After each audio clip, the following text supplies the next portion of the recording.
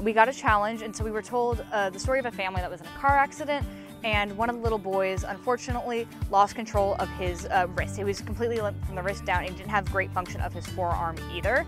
And so we were tasked with improving something in his daily life. They just gave us like some random materials, plates and stuff that you wear use at a dinner party.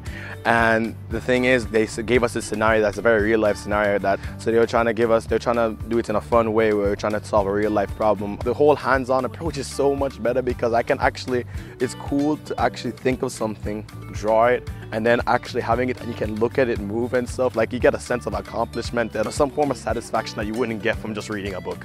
So this was actually the product that we ended up building. As you can see, duct tape is an engineer's best friend. And so all you would do is you would just slip your arm in here and secure it.